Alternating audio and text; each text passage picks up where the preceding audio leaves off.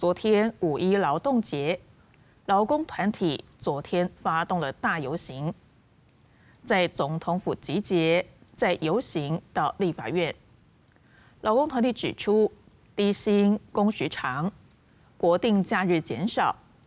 退休保障不足、加班费率四十年不变，呼吁立院蓝绿白三党挺修法，正面回应全国劳工的诉求。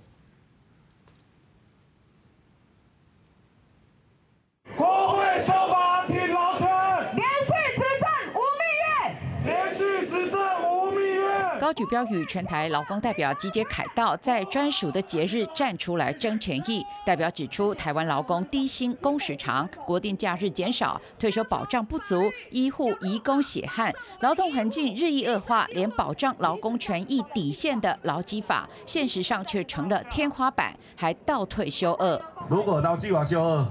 我们劳工要不要跟他们拼啊？有，别个表哦，要。劳团点名即将接任劳动部长的何佩珊、准总统赖清德及民进党团总召柯建明是曾让劳基法修恶的三人组，并演出行动剧讽刺。砍价砍价三光光，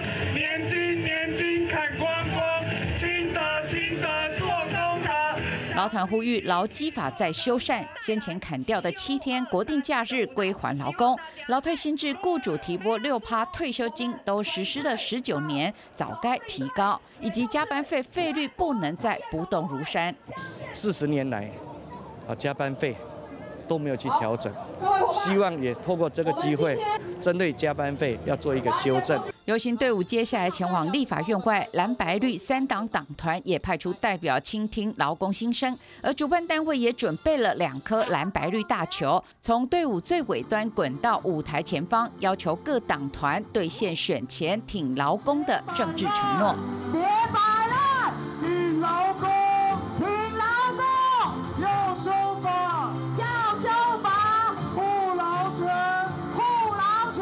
即将卸任的总统蔡英文一早在脸书对劳工朋友说辛苦了，强调执政八年持续提升劳工权益，包括基本工资连八年调涨，从每个月两万元到今年两万七千多元。准总统赖清德也在脸书表示，民进党一直跟劳工站在一起，就任后会透过不同政策确保劳工权益，包括维持劳保基金稳健运作、事办弹性育婴假等。记者林俊梅、陈昌维、彭耀祖台北报道。